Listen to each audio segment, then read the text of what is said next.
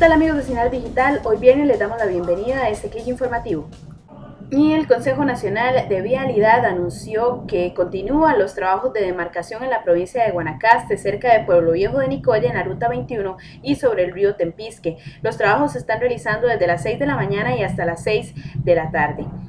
El paso en ambos sectores se mantiene regulado y se espera que los trabajos concluyan el 24 de julio.